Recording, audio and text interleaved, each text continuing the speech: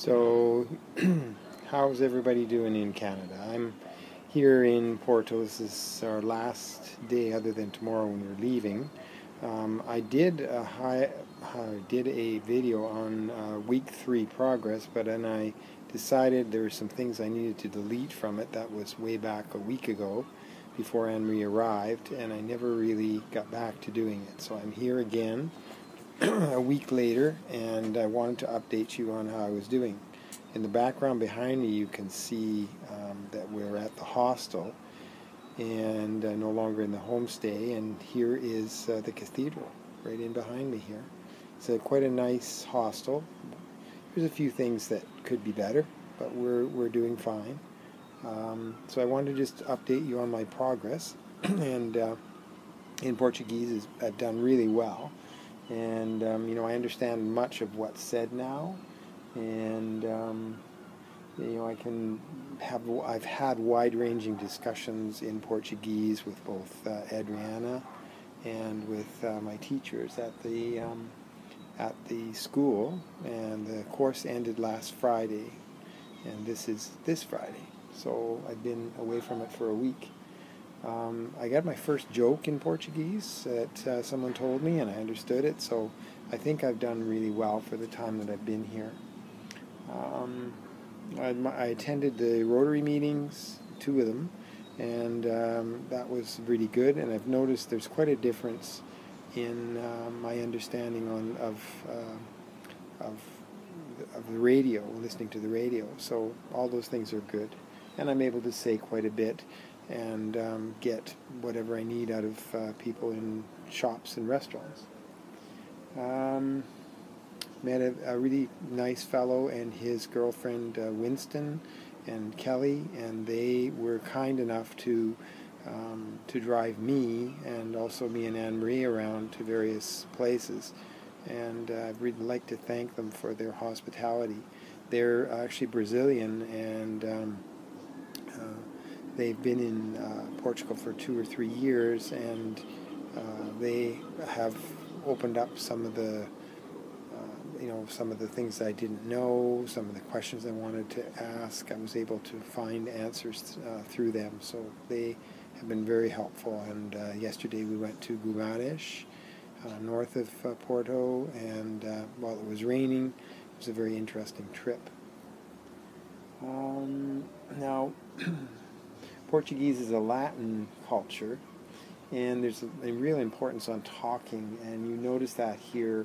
Um, you know, oral language is really important, and lots of emotion expressed in the language. So in the metro, for example, in Canada, there's a lot fewer people talking than here. I really notice the difference, and uh, there's everything under discussion from um, you know from politics to just daily life, everything. Um, the government here has uh, brought out a budget which is creating havoc. Um, they're being forced to uh, to raise money for their debt, and uh, they're doing it by cutting 10% from the wages of government workers. And you can imagine how that uh, goes over with government workers, not too well. So there's the threat of a strike, and um, they're also cutting pensions again. They've already cut pensions once they're cutting them again and again. This is going to create some problems uh, politically for them uh, and you know general strikes and so forth. So there's 15 days of of transportation strikes starting today, which we haven't really seen, and I haven't. You know, we went on the metro today; it was okay, and we're hoping to get to Albufeira tomorrow in the Algarve, um, and uh, by train. We'll see how that goes, but definitely they have 15 days in which they can do strikes anywhere, and they probably will. There's a lot of frustration and anger about the budget, and um, and uh, while it, it's very difficult to accept these things, I don't think much is going to change. You know, the basically the government's hands are tied, and they're forced to do things by the troika, as they call it, which is um, a couple of European. Um, union institutions, the bank, the European Bank, and uh, there's another one which I've forgotten, and the third one is the International Monetary Fund, and they're funding Portugal because the markets will not do so. and there's really not a lot they can do other than take the bailouts that are offered by the Troika and um, follow the advice that they give. Um, the the other thing was that um, I have a, a bit of a video of the of the shopping center I'm hoping to put up. If I have not already, it's it's at Sete Bicas and it's pretty neat and very much like uh, North American malls, but but quite interesting. And I guess the last thing I wanted to tell you is we have a word like "hey," you know, um, that we use in Canada. You add it to the end of a sentence and put it in a little um, a little question mode. So you say something like, "The cathedral's beautiful, eh?" That's how we'd say it in Canada. Or in America, it would be, "The cathedral's beautiful, huh?"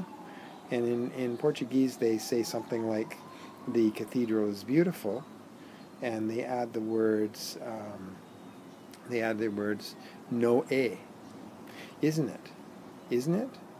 So you can use this in much of your um, much of your language is noe at the end of a, a sentence. So you can say things like uh, the sky is blue today, noe, and that will uh, is is something you hear very much here. So I hope everybody's doing well in Canada. This turned out to be six minutes. I was hoping to keep it down a little bit, but I'll see if I can upload it to um, to Facebook, and I will see you guys in about a week. I guess it's the sixth when I get back. Okay, bye for now.